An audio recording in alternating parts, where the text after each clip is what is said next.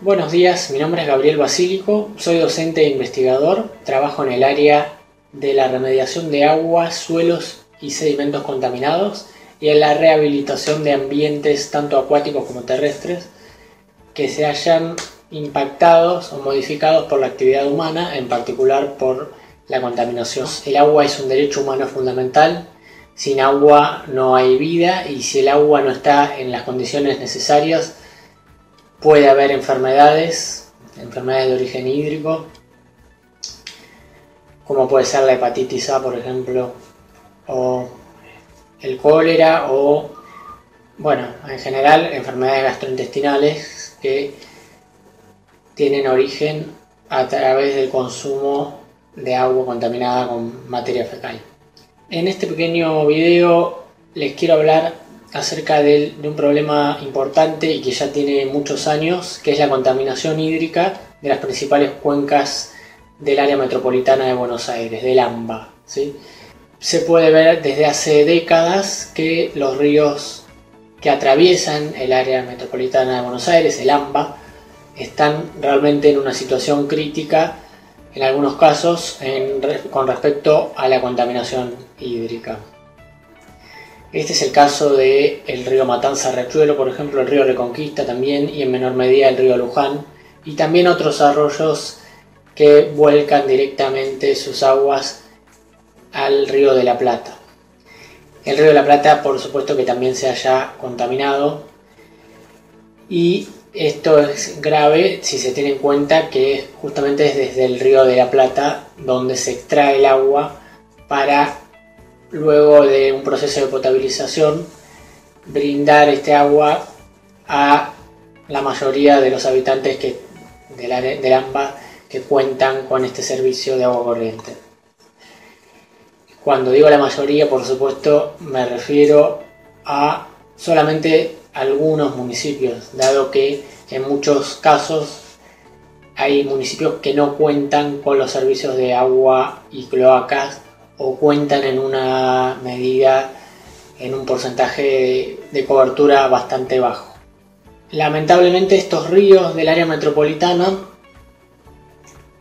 reciben muchas veces los efluentes de zonas que o bien no cuentan con cloacas o bien también reciben los efluentes de las plantas depuradoras de las prestatarias que operan en el área metropolitana. Estas, plantas, estas plantas lo que hacen es recibir a través de la red cloacal los efluentes líquidos de los hogares, de los comercios y de algunas industrias en algunos casos, darle algún nivel de tratamiento a estos líquidos y luego de este tratamiento se vuelca en un curso de agua. Se vuelca, por ejemplo, en el río Matanza Riachuelo, en el río Reconquista, en el río Luján o directamente en el río de la Plata o en algún afluente de estos, de estos ríos. Tenemos por un lado una necesidad de lograr en los próximos años una cobertura del 100% de los servicios de agua y cloaca para garantizar que todo el mundo acceda a este derecho humano fundamental, que toda la población del AMBA acceda a este derecho humano fundamental. Pero por el otro lado, este, esta ampliación de la cobertura del servicio de cloacas implica que también se van a generar mayores efluentes cloacales que hay que gestionar adecuadamente. Eso implica que tiene que haber una, red cloacal que abarque el 100% de la, de la, población, el 100% del territorio del AMBA, mejor dicho, y que esta red cloacal en definitiva termine en plantas depuradoras adecuadas y con un nivel de tratamiento de los efluentes adecuados. Este es otro problema importante porque a veces puede existir plantas, pueden existir plantas depuradoras eh, que justamente el objetivo que tienen estas plantas es devolver el agua a una cuenca en un estado de, calidad, con una calidad suficientemente elevada como para no causar impactos en el medio receptor pero en muchos casos, diría que quizás en la mayoría, esto no ocurre. Es decir, que en lugares aunque que pueden llegar a tener eh, la red cloacal adecuada y que tienen una planta depuradora de fluentes cloacales, estas plantas no cuentan con el, nivel de tratamiento necesario. Esto no es porque las prestatarias estén incumpliendo. En algunos casos podría ser que sí, pero la cuestión más fundamental es que hay un problema normativo. Un problema normativo que no exige un, nivel de tratamiento demasiado elevado al agua que se vuelca a los, a los ríos y, a otras cuencas y a otros cursos de agua.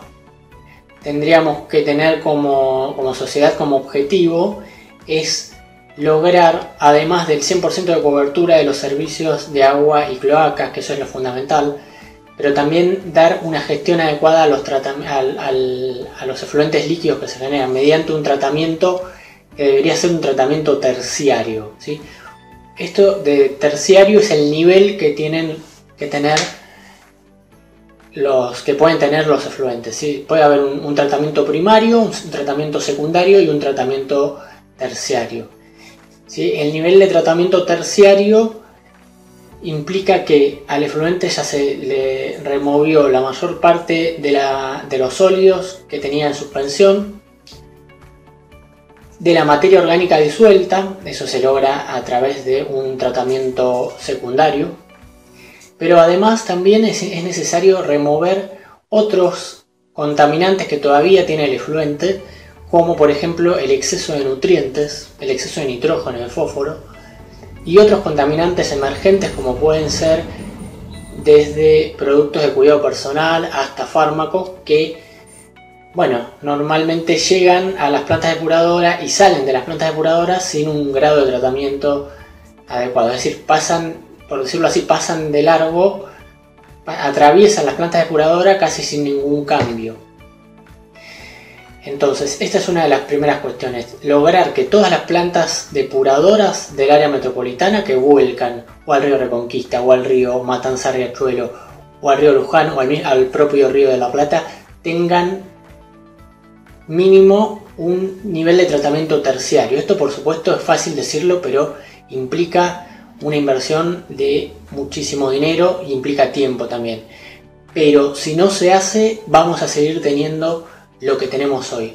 Ríos contaminados y con realmente situaciones bastante críticas. En algunos casos mortandad de peces, eh, bueno, olores, generación de olores, etc. Otra cuestión importante es desinfectar los efluentes. Esto teniendo en cuenta que en muchos casos, si bien en, las distintas, en los distintos marcos normativos está prevista la desinfección de los efluentes, en la práctica en muchos casos no se realiza la desinfección al menos completa de los efluentes que se vuelcan a los ríos. Entonces, en resumen, lo que les quería comentar en este video breve es que tenemos una situación que hay que, requiere una respuesta en el tiempo que se está dando, que se ha ido dando en los últimos tiempos. Esto es la ampliación de la cobertura de los servicios de agua y cloaca. Esto es, indispensable, porque el agua es un derecho humano y, bueno, toda la población tiene que tener esos servicios.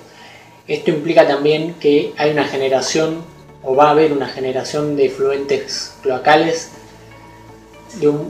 con un mayor volumen. Entonces, este, este, mayor volumen de fluentes cloacales necesitan sí o sí tener un tratamiento que debería ser como mínimo un tratamiento terciario, es decir, un, tratamiento que remueva por un lado los nutrientes, nitrógeno y fósforo, y por otro lado los contaminantes emergentes.